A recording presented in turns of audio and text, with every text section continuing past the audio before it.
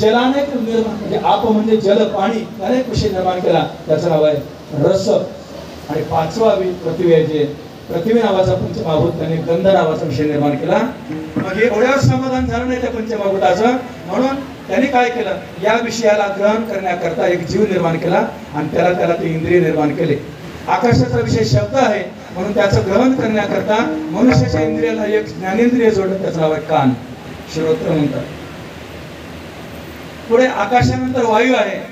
त्याने आपला विषय शब्द काय स्पर्श विषय केला निर्माण आणि त्याला ग्रहण करण्याकरता त्वचा दिली त्या जीवाला. त्यानंतर वायूच्या नंतर तेज आहे.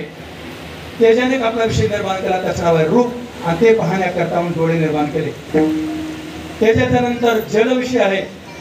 त्याने रस नावाचा विषय केला आणि त्याच्याकरता या मनुष्य इंद्रियामध्ये रसना टाकली. जीभ आणि पाचवा विषय पृथ्वीचा. बघा तुम्ही त्या न्यायशास्त्रामध्येचा विषय आहे. गंधवती पृथ्वी सात विधा नित्य अनित्याच्या सुरभी असुरभी वगैरे वगैरे त्याचा विचार आला प्रत्येक पंच ज्ञानेंद्रियाचा पंचमहाभूताचा विषय तिथे आलाय. वायू कसा आहे सा अनित्य अनित्य काय नित्य हा अनित्य हा वगैरे वगैरे विषय आले. आपला वेळ संपला त्याच्यात मी वेळ होणार नाही. म्हणून पाच ज्ञानेंद्रिय निर्माण केले त्या त्या विषयाला ग्रहण करण्याकरता. आणि मनुष्याच्या ठिकाणीच हे पाच ज्ञानेंद्रिय कोणी कोणाला न्यायकच आहे. कावळ्याला इकडे डोळा आहे. कोणाला कानच नाही. कोणाला काहीच नाही. आम्हाला सगळं दिलंय सगळे विषय ग्रहण करण्याकरता. पण मायबाप एक एक विषयामध्ये एक एक प्राणी गेला.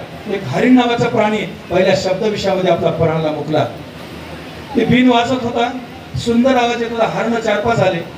बिन वाजवण्याचा विचार केला की माझ्या या वाजवण्यामुळे हरणं आले. आपली शिकार करायला पाहिजे. वाजवणं बंद केलं आणि धनुष्याला पान लावून त्याला सोडणार त्या त्या हरणाला वाचा फुटली. सांगितलं काय करतोस नाही तुला मारतो शिकारी करता आलो. मार तू मी मरणारच आहे. पण वाजवणं थोडा वेळ अजून चांगलं वाटायला शब्द माणसं गोड बोलाले की किती वेळ असतं शेवटी त्या हरणाला प्राण देताना शेवटची इच्छा काय त्या पारधाला विचारला? तर काहीच नाही म्हणजे माझ्या शरीराचं काकड का मांस शिजून खाय पण माझ्या काकड्यावर बसून ते गाणं गात मला आनंद वाटेल. मेल्यावर एक हरी नावाचा विषय गेला प्राणी गेला. स्पर्श विषयामध्ये हत्ती नावाचा प्राणी गेला. रूप विषयामध्ये पतंग नावाचा खेळा गेला. काय हो? दीपा पतंगा लिंग ते तर अशी अचूक मरण. देवी विषया चरणात्मघात आता झालेत ना आपल्याला काही दिवस मला वाटायचं की माऊलीची ओळी खोटे होते काय कारण दिव्या करता यायची ते रूप बघून त्याच्यावर फडफड करून जळून मरायचे इकडे. आम्हाला वाटायचं लाइट आली आता माऊलीची ओळी खोटी होते. होईल. पण योग असा आहे जेवढे किडे त्या लाईटला जमतात तर त्याचा नाश करण्यासाठी बेडकं किंवा पाणी लगेच तयार केलं. माऊलीचं खोटं कसं होईल? लगेच गटा गटा गटा गिळतात ते बेळका येऊन किंवा खाली येऊन. म्हणून शब्द स्पर्श रूप आणि रस विषयामध्ये मासा नावाचा प्राणी गेला. मोठं मजेदार प्रकरण आहे. गांडूळ नावाचे प्राणी असते त्याला तोडतात. त्या गळाला लावतात. आणि गळात गांडूळ त्या मासळ्यापर्यंत जातो आणि प्रार्थना करतो मत आ मत आ मेरे लिए भाई मत आ मत आ मैं आधा कट गया हूँ तेरे लिए. मत आ मत आ मेरे लिए ऊपर बैठा है तेरे लिए. अशी विनंती करून ते गांडूळ सांगतो पण मासुळीला त्याची चव लागली असते. त्या गांडळाला घराला जाते जड लागल्यावर तो काटा गळवर घेतो मासुळी प्राणाला आणि गंध विषयामध्ये भुंगा नावाचा प्राणी निघून जातो.